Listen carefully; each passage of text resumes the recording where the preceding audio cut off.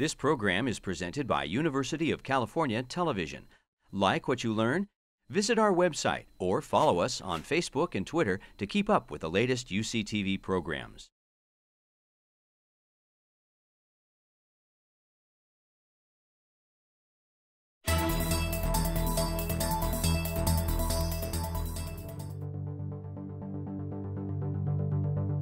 This question, are we alone? Is anybody out there?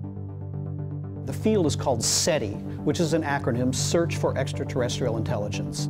The big idea in SETI is that we do things, sending off radio and television and radar signals out into space. Maybe ET does that too. Tabby star is a star that was identified by the Kepler spacecraft. It's basically a very weird star. It's a very strange star. What this star showed is something very, very large and, and very, very dark uh, appeared to be passing between us uh, and the star. It's not a planet because we know that it's not round and it, it doesn't orbit at a fixed period.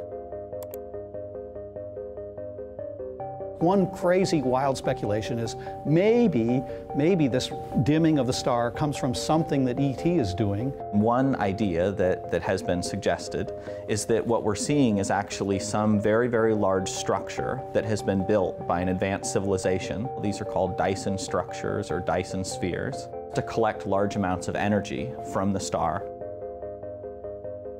I don't think it's true, uh, you know, one in a billion chance. Nevertheless, we've got this spectacular listen instrumentation that's going to enable a very sensitive, broad search of Tabby star.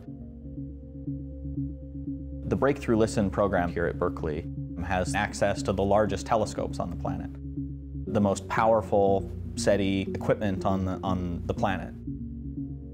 So we can look at, at Tabby Star with greater sensitivity and for a wider range of signal types than any other experiment in the world. The Green Bank telescope is the largest fully steerable radio telescope on the planet. We've deployed a fantastic new SETI instrument that connects to that telescope. We can look at many, many different billions of radio channels all at the same time. If there is technology around that star, we have the best odds of finding it with the Green Bank telescope.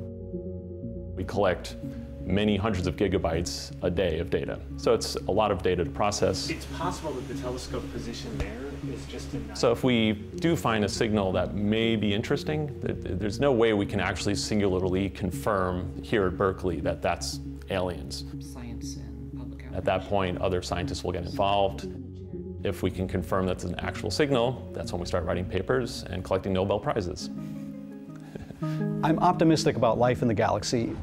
There are a trillion planets in our Milky Way galaxy. That's more planets than there are stars. And lots of those planets are good places for life.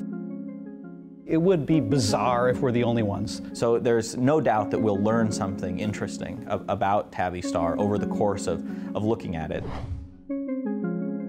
And maybe what we'll learn would be the, the most interesting thing possible.